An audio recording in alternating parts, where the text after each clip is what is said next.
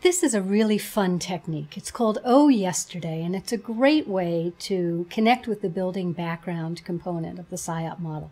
This is a very fast, fun little activity where the students, um, one student is selected to um, start to talk about one thing that he or she learned the day before. But we're asking the teachers to encourage the students to do it in a theatrical manner.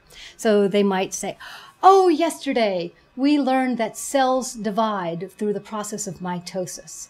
And they might take a bow, they might pretend they're singing an aria, they could talk in a loud voice, they could talk in a stage whisper, but the notion is just to make one quick statement, something they remember that they learned the day before. Then uh, the student might choose another student in the class who would also say something new that he or she remembers and learned the day before. I've seen that teachers do it in a couple of different ways here, where the teacher selects which students would speak, or one student then chooses the next student who chooses the next student.